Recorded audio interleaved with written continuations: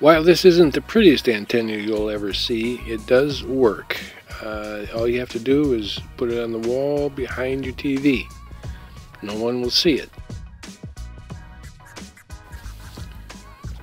Programming is rather straightforward.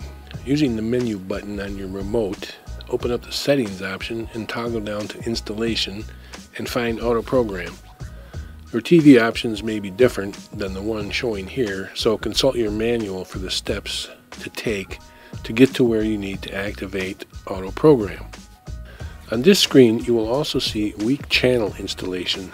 That option allows you to manually add channels that might have not been picked up by the auto program. Toggle over to select cable or antenna, select antenna, and start the auto program feature. It may tell you that it will take up to a half an hour for this program to complete, but this one only took 59 seconds to find 18 digital channels and one analog channel.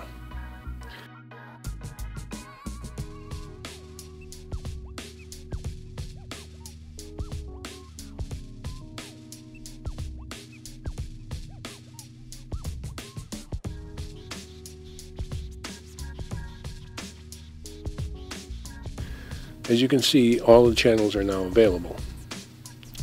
In order to find out how many broadcast stations are within your reach, I've left a link down below to the FCC map. All you need to do is type in your zip code and you'll see what is available. The other address will show you how far away from the stations you are located. They both show signal strength for each station as well, suggesting you need more antenna at a higher cost as well as preamps and amplifiers. This just isn't true. All these add-ons are not necessary according to my experience.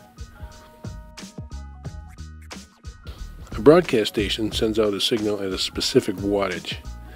They determine the range of their signal, and there's nothing you can do to increase the range of their signal. Some will tell you you need an amplifier or a preamplifier. You don't. What makes a difference is the size of your antenna.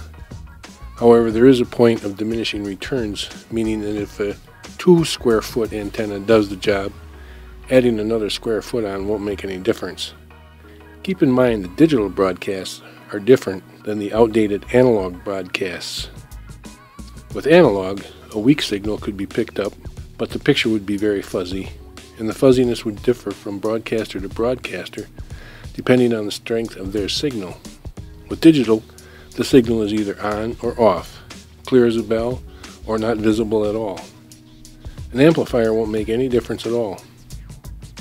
Digital also changed antenna requirements, allowing for smaller antennas to do the same job. Some may argue that antenna design makes a difference as well, but this antenna proves that wrong. Two sheets of aluminum foil is not much of a design factor, is it? Location of your antenna in the house will make a difference. The best location for this antenna is on the outside wall facing the broadcast station. Meaning if your broadcast station is to the south, put the antenna on the south wall. Weather can sometimes be a factor in reception too. Another factor is antenna location on the wall. Sometimes moving the antenna as little as 6 inches in any direction will change reception, especially during a storm or other atmospheric event going on between you and the broadcast station. There may be times when one channel comes in and another one doesn't. And when you move the antenna, the one that didn't come in now comes in, and the one that came in doesn't come in. But that's pretty rare. Most of the time, your antenna will pick up everything that is available.